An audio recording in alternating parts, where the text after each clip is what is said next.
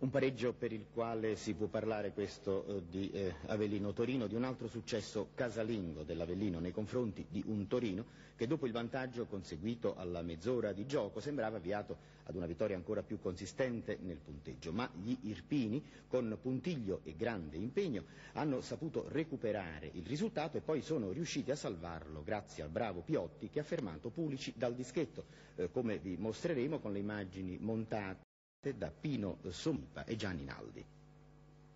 Il gol del Torino scaturisce alla mezz'ora di gioco da un'azione ben concertata, ma anche per una disattenzione della difesa dei padroni di casa che non ha ben contrastato un greco lasciato nell'occasione troppo libero. Patrizio Sala intercetta un lancio difettoso di Boscolo allunga a Graziani, inutilmente contrastato da Di Somma, la sfera viene servita a Greco tutto solo, che insacca di precisione nell'angolino alto alla sinistra di Piotti. L'Avellino a questo punto continua la sua partita attenta nelle marcature, nel chiudere i corridoi, nel vanificare le pur ordinate iniziative degli ospiti.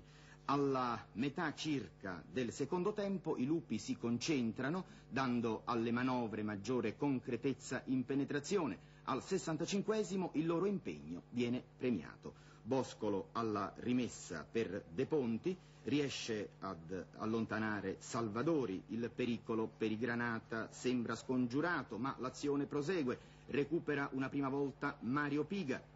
Il suo cross viene respinto. Recupera ancora De Ponti che mette al centro e Massa che ha sostituito Reali al volo ed in bravura batte Terraneo.